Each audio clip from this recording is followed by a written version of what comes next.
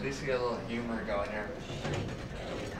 You're like Justin Bieber. I heard they take him around in a little cart like this all the time. It's funny, even though it's not funny. He's not even hurt. We do this for him. Okay, where did John go? So where's the worst amount of pain? In here. You see there's no obvious broken bones there, there's nothing fragmented. Again, your ankles. I can't see any fracture.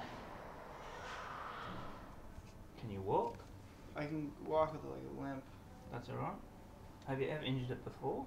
Um, no. Well, everyone's like doing errors and stuff. and, like,